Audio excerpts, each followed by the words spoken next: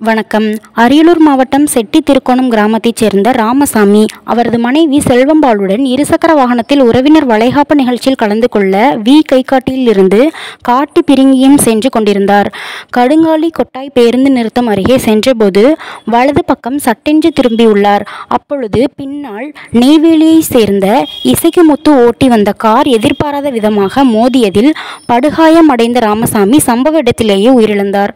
அப்பொழுது இசைக்கு முத்து ஓட்டி வந்த காருக்கு பின்னால் சிதம்பரத்தைச் சேர்ந்த ஜெயக்குமார் ஓட்டி வந்த கார் மோதாமல் இருக்க வலது பக்கம் திருப்பிய போது எதிரில் ஜெயகுண்டம் நோக்கி செந்துறையைச் சேர்ந்த அறிவொளி ஓட்டி சென்ற கார் பயங்கர வேகத்தில் மோதியதில் அறிவொளி ஓட்டி வந்த கார் திடீரென தீப்பற்றி எரிந்தது.